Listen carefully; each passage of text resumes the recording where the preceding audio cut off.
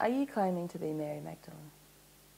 Yes, I am Mary Magdalene, and I am saying that publicly, and I have been for a number of years. Um, I was born in 1979 here in Australia, and my parents named me Mary Luck, which is why there's often a little bit of confusion about what to call me.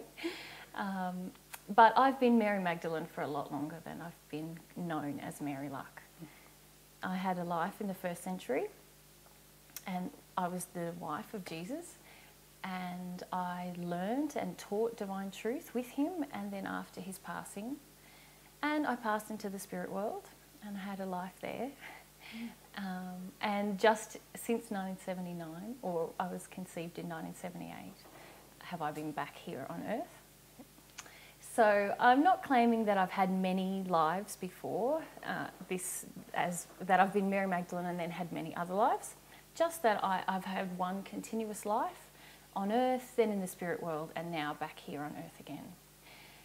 I'm also not claiming to be the essence of Mary Magdalene that many women can embody. Yeah. I'm saying that there's one of me, and um, that's me. Uh, and elements of what is uh, recorded in the Bible and is known about me in folklore, there's parts of that that are true, but largely the story of my life that has happened is pretty much unknown on earth.